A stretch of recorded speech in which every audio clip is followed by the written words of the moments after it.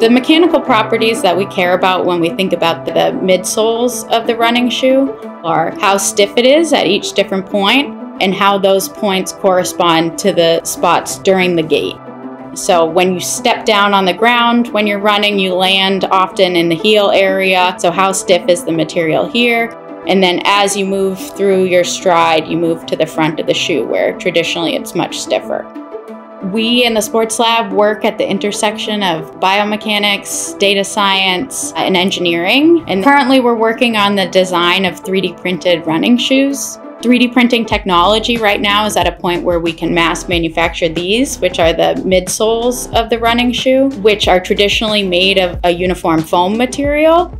And using this technology, we can make running shoes that have a much wider range of mechanical properties. We can change the geometry of the structure all along the length of the shoe without having to change the material like we would have to do in a uniform foam material. And we can start to customize the running shoes to different runners.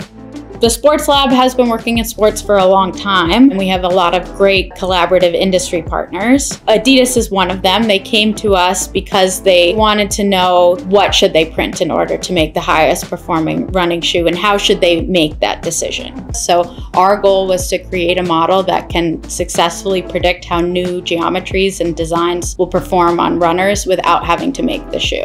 So we used existing data for running shoes that have that foam midsole to compare the results of our model and the predictions that it makes to real running data. Um, and then we use our model to predict how the runners would perform in unknown futuristic shoes that we can make with the 3D printing technology.